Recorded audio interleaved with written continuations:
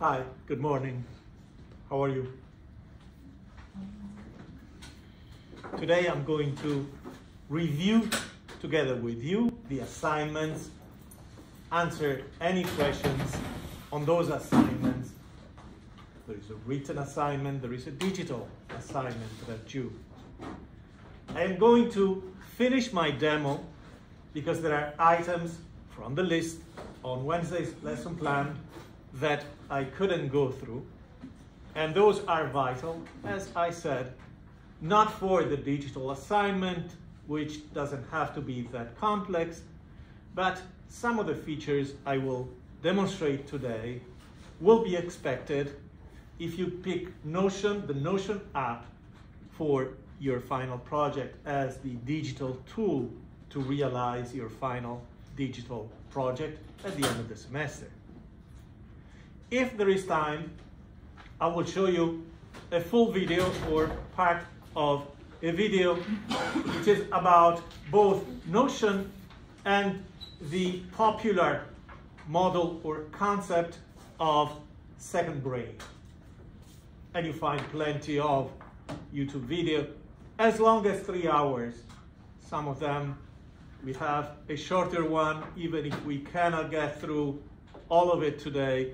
I strongly recommend that you watch it, not because you're, you're expecting to replicate those things, but it gives you a sense of the level of complexity that can be reached for a complex knowledge-based project in Notion, and, and that's your goal. You're, you're trying to get there. You're not really managing with the time you have something as complex, but that's your goal, that's your model, or one of your models. I would like today also to talk about the final project and some of the requirements, okay? But it will not be the only time we talk about the final project, and there will be other Fridays when we get a chance to discuss those. Initially, I'll be the one providing some suggestions, tips, and hopefully at some point you will be using those segments to ask specific questions about your projects as you're planning them. In fact, the reason why you find several digital and written assignments overlapping during the first few weeks is that I want to get through the five assignments as quickly as possible during the first part of the semester so that after that point, all you have is keep up with the assigned readings and start working on the project because it is not a paper, it is not the kind of project that you can complete the night it is due. It requires time for design, for execution, for planning. For example, identifying the material, the contents of your wiki in Notion, gathering that material, and then not only organizing it, but refining the organization, and then preparing for the presentation based on that, which you'll do on Zoom or through a video recording at the end of the semester. Okay? So I have been receiving a lot of invitation to pages in Notion where you completed the digital life assignment. Every time I received an invitation, I opened the invitation, the link for the invitation. This is true up until last night. Of course, this morning I was coming to campus, I was in class, so if you sent it five minutes ago and I see the counter went from 8 to 13, so more people shared their assignment with me than just wait. And what I've been doing is opening the invitation, going to the page where you completed the digital life assignment, and I left a comment at the top of the page with your name handle, which will prompt a notification in the system, where I simply said, thank you, I will be working, reviewing, grading this assignment within a few days. So make sure you see that comment. That is the confirmation that I have received your assignment and I've received it by the due deadline. Sam just sent a link. In fact, in a few cases, it was just a link that allowed me to see the page, read the assignment, but not include any comments. In that case, I sent back an email saying, can you please grant me editing rights, the rights not only to view, but also to edit or comment. Now there are two ways, as I showed on Wednesday, there are two ways to share a page with commenting and editing rights. One is the crudest, the most rudimentary. That would be to attach those editing and commenting rights to the link. And anyone who receives the link can open the page in the browser and has some of the functionalities. However, it is not the most convenient and the most practical. Now, it is not a requirement. You, you, you are in compliance uh, with the coursework if you do that. But as you can see, if you pick the other option, which would be not to share a link with editing rights, commenting rights attached to it. If you opt for inviting me with my email address, which will prompt an automatic invitation sent by the servers at Notion, then that's where your assignment is. I don't have to store the link somewhere to be able to find it when the time comes to review and grade that assignment. I just open the share section and I see your name there and I click and I go and I review your page. Okay? So keep that in mind. The best option, the most convenient for me, is to be invited to your space. And if you already have Notion and use Notion, you just limit my invitation to a page or a group of pages where all of your assignments are. That way you have to invite me just once. And in fact, I see people who have already in their same Notion space both the assignment, the written assignment called My Digital Life, and the digital assignment called Create a Page, Create Your First Page in Notion. Keep in mind that those are two different assignments. One is written, it's just about the content. It's text that I'm reviewing, it's a narrative. The other is technical, the content is secondary. You just have to show your technical prowess for the other. Let me show you the instructions for the other assignment at the end of this week.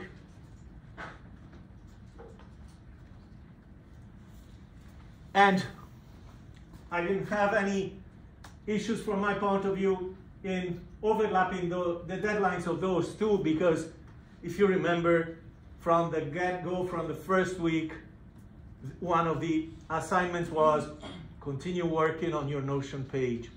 Build up based on the demonstration that you followed in class. And therefore, by tonight, you should just be revising, completing, putting the cherry on top and sharing and be done with it. However, I'm cognizant of the fact that some people added as late as Friday and came to class for the first time on Monday or even Wednesday of this week. As I said before, if you need more time to complete the first digital assignment, just let me know. However, be professional. Let me know before the deadline, before tonight, and let me know what your plans are. So tell me what date would be convenient and reasonable for you for the completion of the project. Let me know if you need assistance, because especially if you missed the demo, the demo classes on Wednesdays and Fridays. Of course, you know you have YouTube videos, right? So make sure you watch the YouTube videos of all the classes. Still, it might be convenient for you to come up on Zoom or come to my office and look at a screen together with me and go through some simple hands-on activities until you become completely familiar with the system. I am aware of the fact that in this class there are some people who have been using Notion for a while and, and can do beautiful things, uh, especially from the point of view of design. And there are people that have never had Notion, which is fine. And if you need my assistance, if you need my support, don't be shy, just ask. I haven't received that many questions or that many visits from a class as big as yours, which is a class of 45. So take charge, don't be shy, don't be afraid of asking assistance, even with the simplest thing, how do I create a new page in order to place my assignment there, okay, or anything else at all. And this second assignment is different, as I said, because these are the expectations, right? That you have one page or a page with one or two subpages, and I'm expecting to find lists, bulleted and numbered, links to other pages and the outside world. If you don't have other pages, just the outside world, the internet, have a few images there of course, try to be legal, remain legal.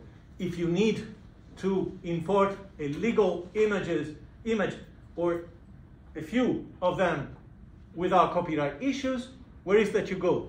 Where is a place where you find hundreds of thousands of pictures, nice pictures with no copyright issues? Don't tell me Google, right? Where do you go?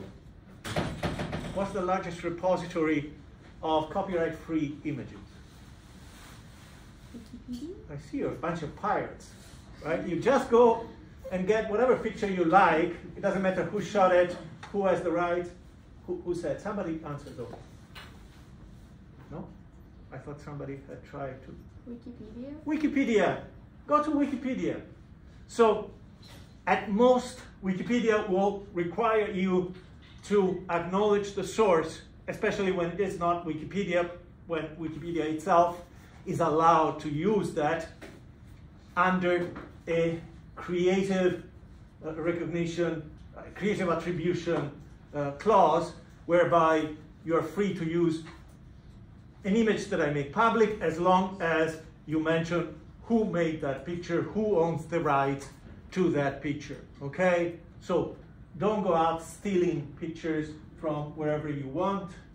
Be legal, use Wikipedia, because you find all kinds. It doesn't matter what you, you are talking about, you'll find pictures there.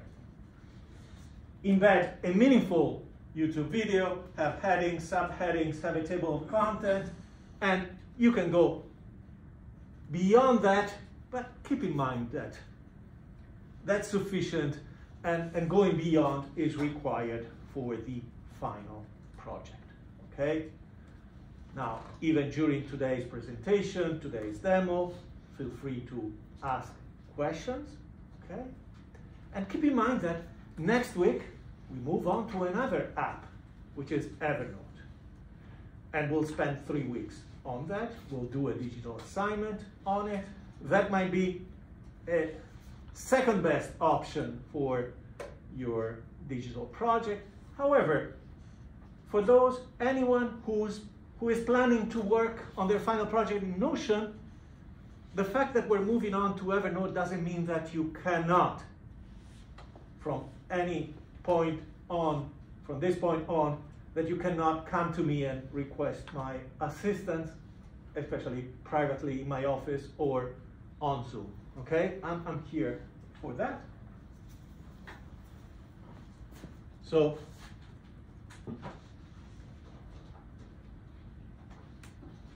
that's the demo from Wednesday. We saw how to embed a PDF, a Google Map, a Google Drive. I forgot to include, and I added this later, an important feature of Notion. A very interesting feature, something that you can codify in HTML, but of course, it does require a little bit of an effort in here it is much easier. And that's the case, that's the thing that every block, and a block is anything where you see the six dots, right? So every line in here is a block. However, a block can also be anything I select. So if I select some of this link, then this entire thing becomes a block. Anything with the dot next to it can be associated with a link. Let me see, something, something happened here. Let's do it again from, from here. There it is. Copy link to block. If you click on this option, then the clipboard of your tablet, Mac, PC device will be filled with the link to that specific block. And keep in mind, it is something that you have to handle through the clipboard because you see how complex the links are because you have a bunch of server run by the Notion company and those are the codes associated with space on that server. They don't worry about providing nice, nicer links or links you can memorize. So you copy the link, there you can have the link to a specific block, to a specific section, to a bunch of blocks selected together so that you send the user not just to one page where some content will be found and yet the user will have to your the, the visitor to your page, your team collaborator would have to scroll up and down until they identify the exact section they need. You send them straight to the block or blocks of text where they will find what they're looking for. The only annoying thing, the only negative, is that instead of placing the cursor at the beginning of a block you've linked, when you click on the link you've created, you'll be taken to the selection of the block. So this is what your user will actually see. If I copy the link to this block and I place it somewhere else, call it internal link to a single block of text and I can select this. And now, did I copy it? Let, let me try again because I'm not sure I clicked and copied it. So I copy the link, okay, copied. Then I select where I want to paste it. I press Control V, would be Command V. And you see that has become a clickable link. Now when I click on it, as I said before, I would have preferred it would have been more elegant if the cursor moved here without occupying the screen with this selection, without distracting the user I'm providing the service to, right?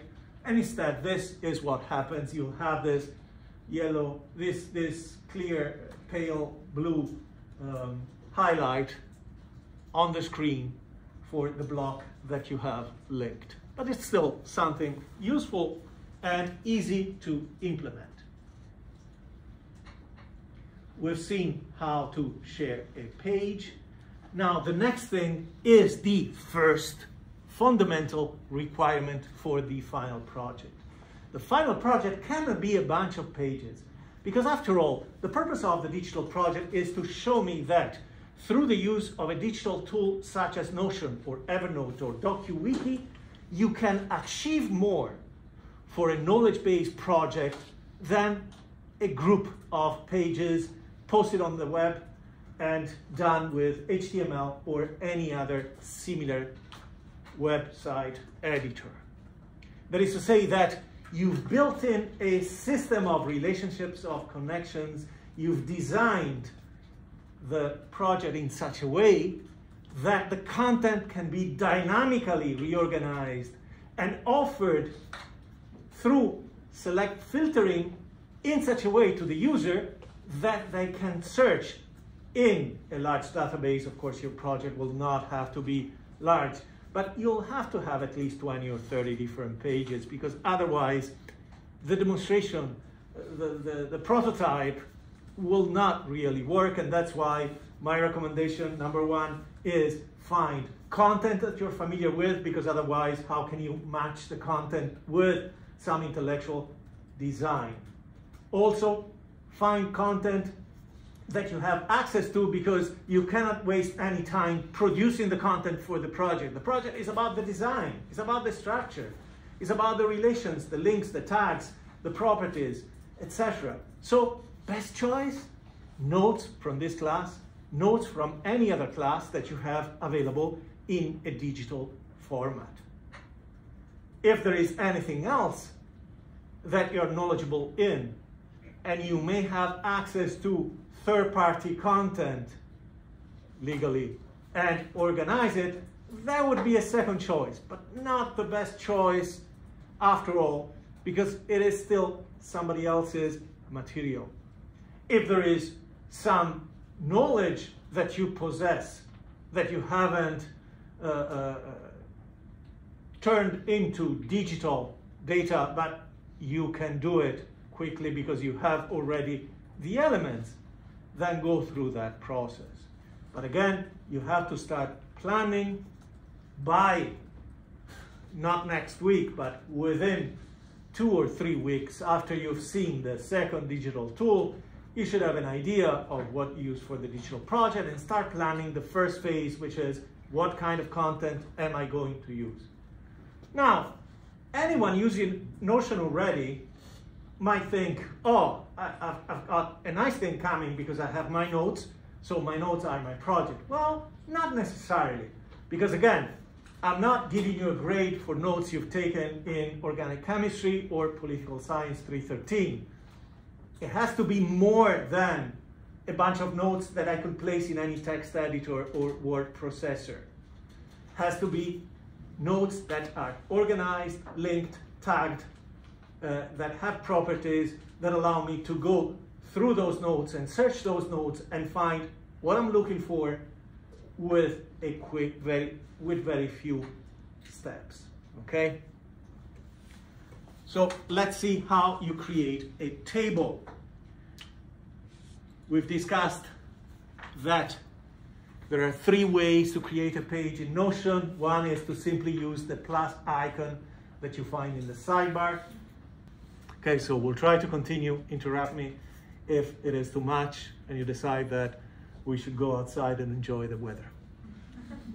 Okay, so I was saying there are several ways to create a page in Notion. The first, the simplest is just use the plus sign that you find at the bottom of the sidebar next to each page you've created, which can become a group of pages. If you click the plus there, then you add a sub page.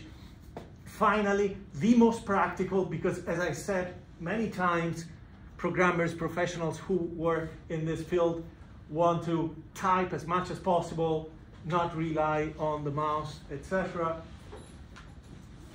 You simply start with the at sign and you type the title of your new page.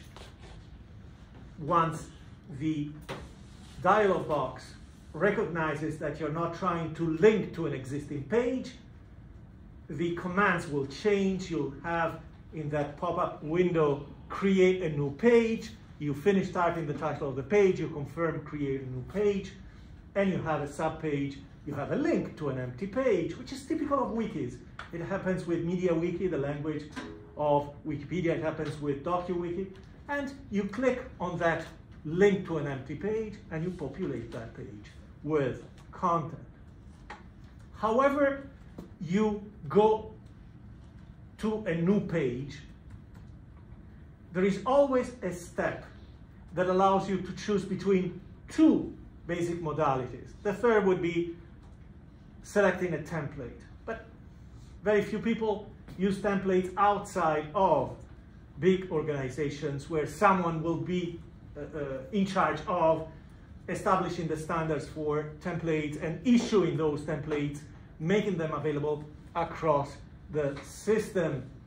Otherwise, the other two modalities that you opt when you go to an empty page is just type text and the page will become a white canvas where you can add anything. The other option that you may have ignored even if you were using uh, Notion right now up to this point is create a table. Now, table is very ambiguous.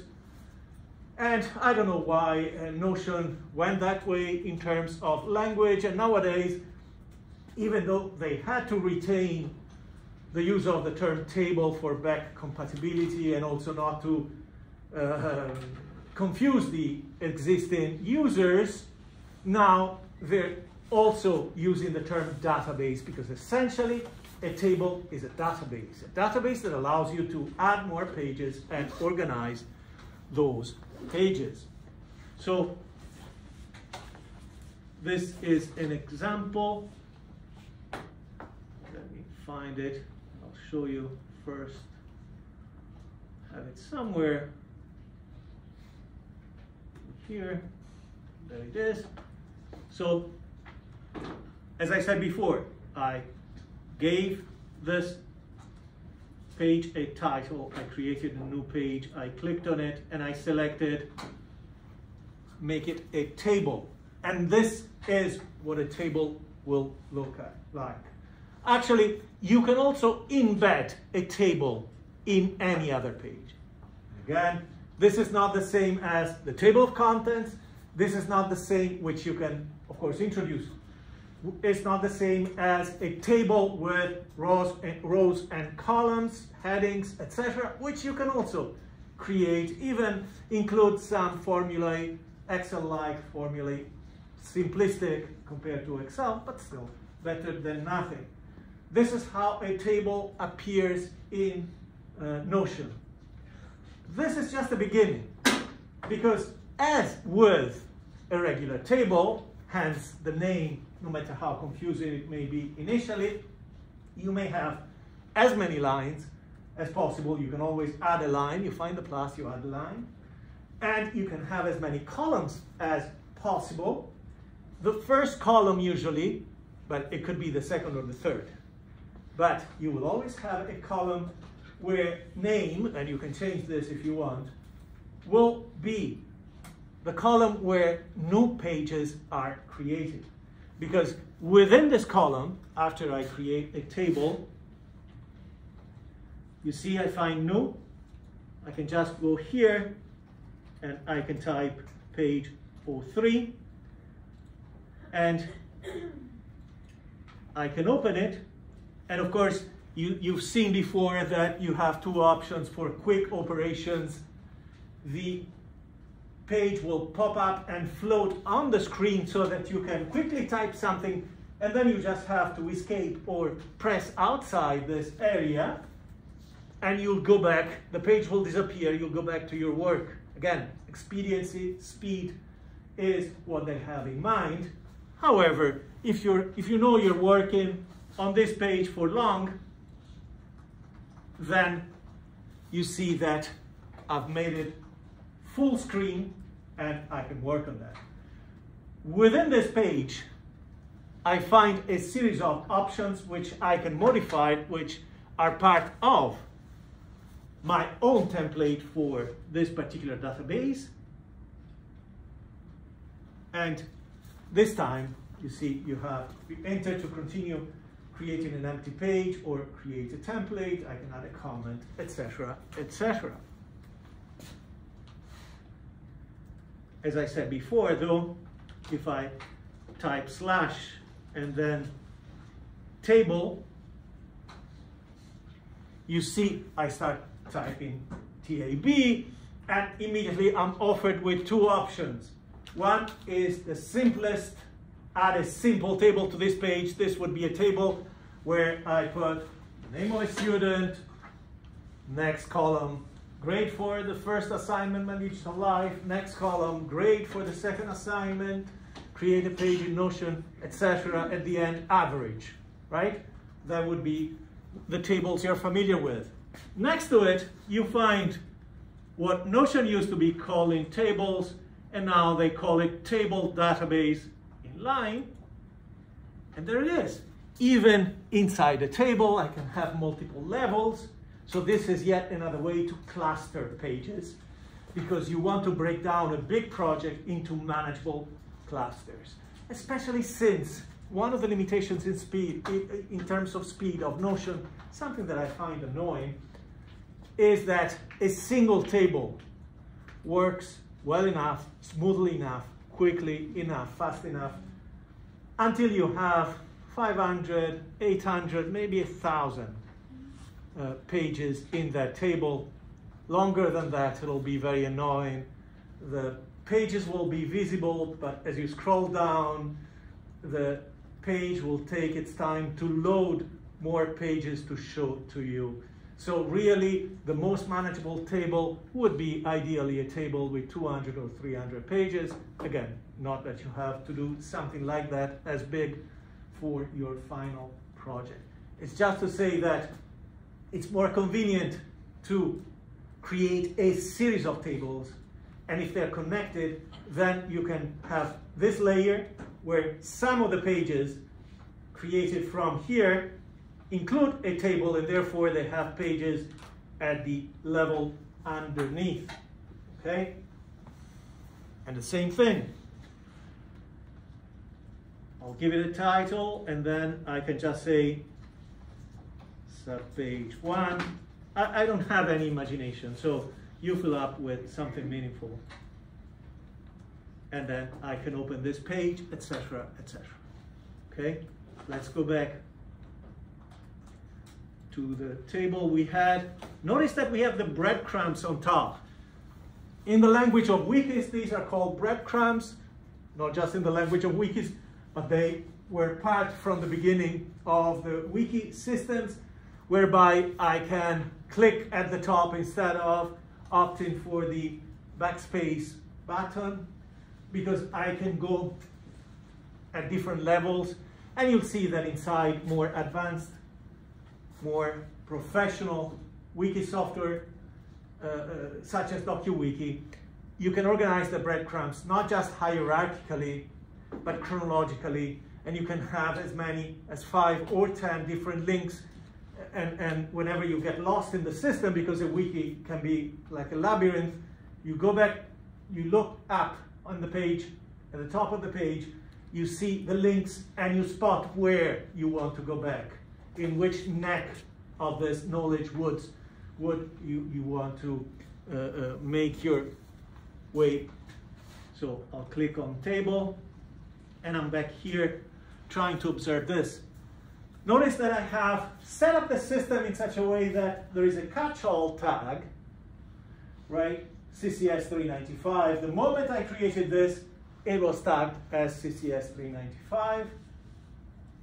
Look it up in the help or in the tutorials or schedule a meeting with me to go through these particulars, through these details. For now, I want to introduce the big thing so that you have the big pictures and then you, are smart enough, you can work out some of the details yourselves. So you can add in here as many tags as possible. And what's the purpose of the tags?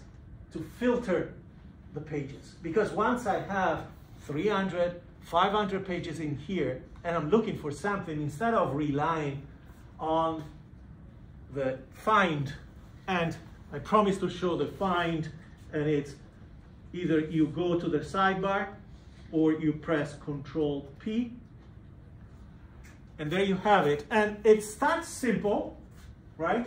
And once you add words, then you see that immediately it starts collecting um, pages containing the word speed. I teach a class on automobile in society. I don't do just software, I do hardware as well. Um, but more importantly, you have the option of another filter in here, which makes it more interesting. Of course, you see sorted by best matches, but you can sort it differently, last edited, created, etc. Let's look at add filter and you can match only titles or you can select properties, or you can add more things. For example, you can select a bunch of pages to this. Just move on for now. So tagging is not random. Tagging has to be part of the design.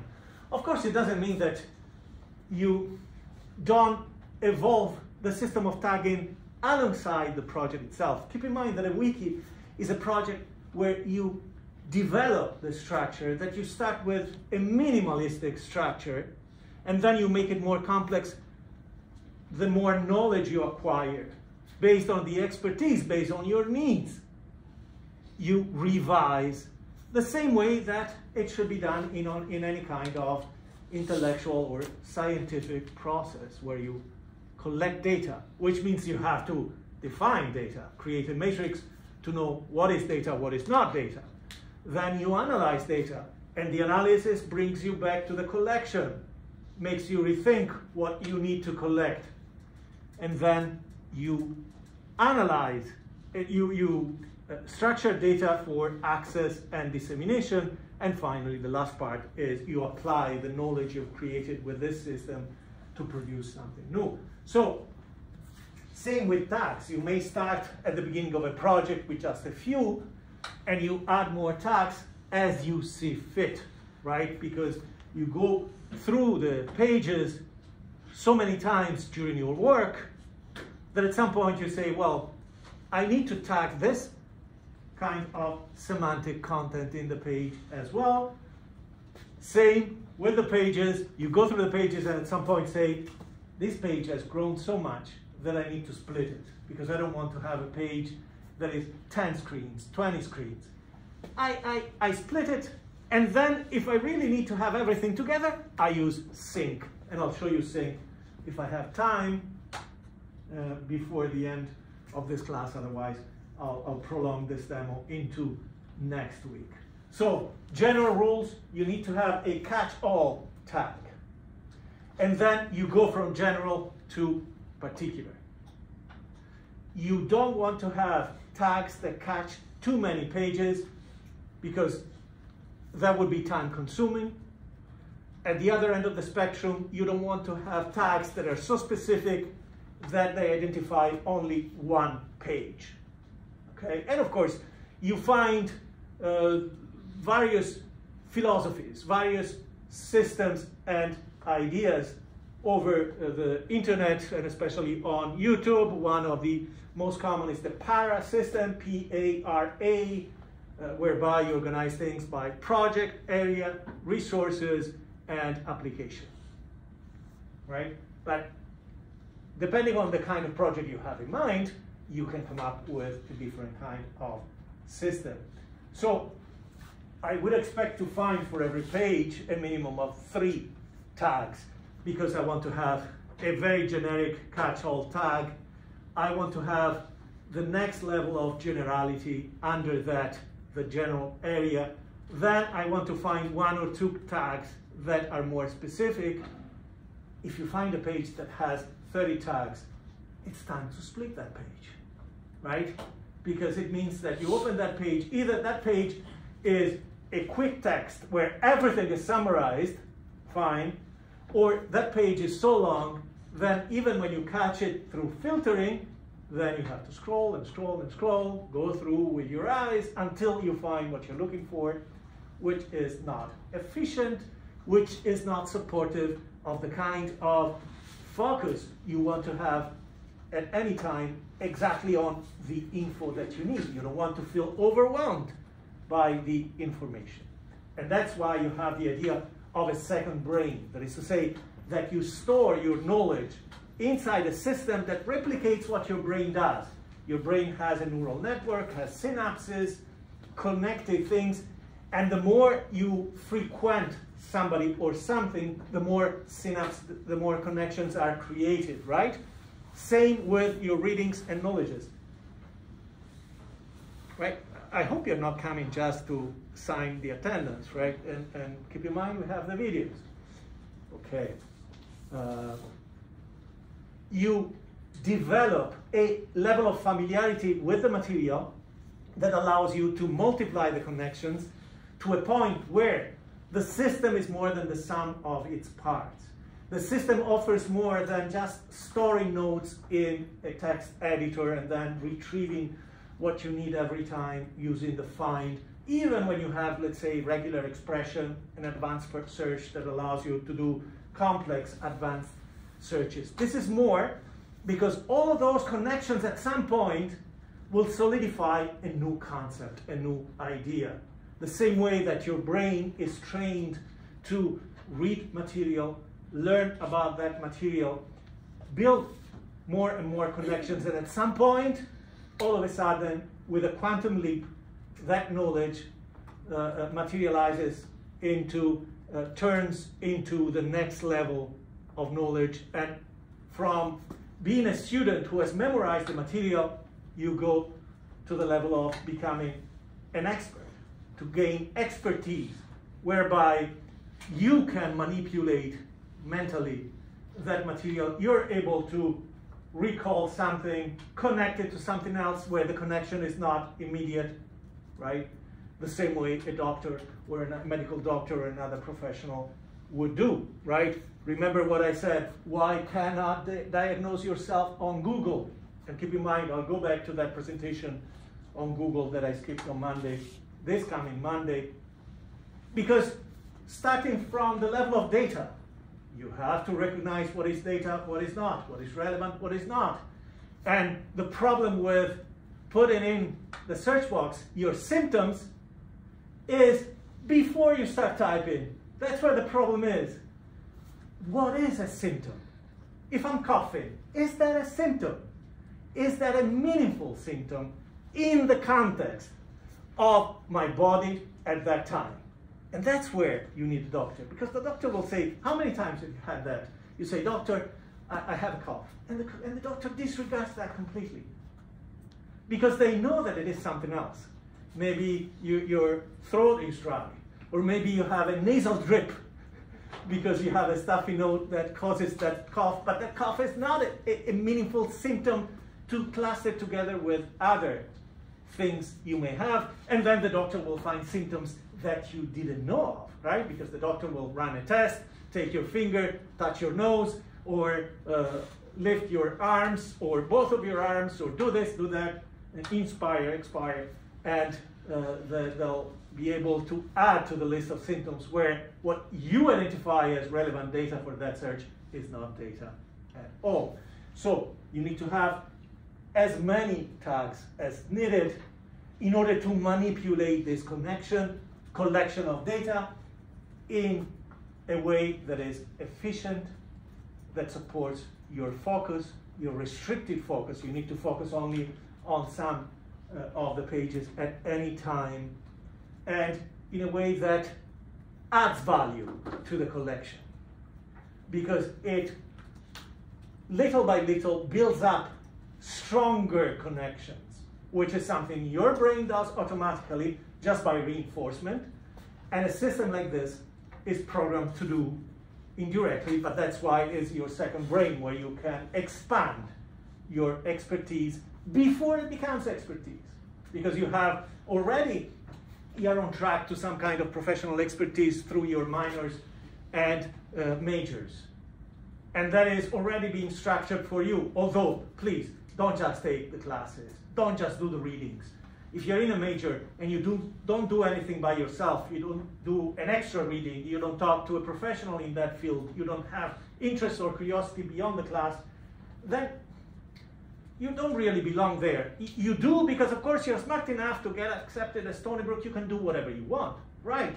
But you have to find something that matches your drive, your interest, and your talents so that it's not a chore, it's not a burden if at some point you say, even if it is Friday or Sunday or I have some free time, my interest is so strong that I want to read this book, which nobody assigned to me, simply because I find pleasure in, in, in expanding my, my expertise.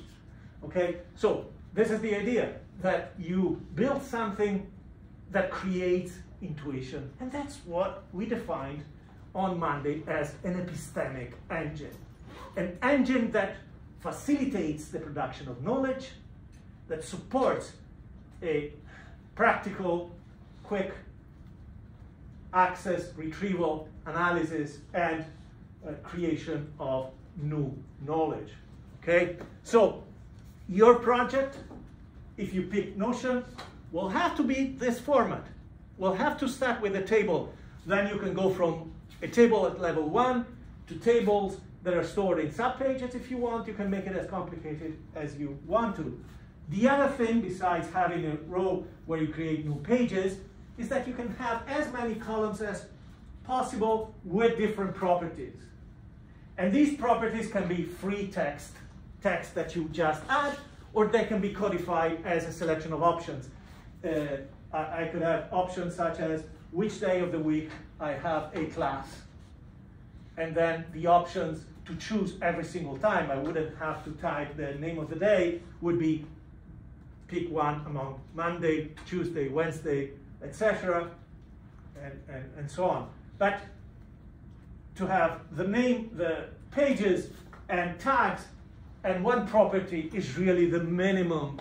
Ideally, you want to have more properties because these properties are relations, are connections, are ways to filter and sort in many different ways this.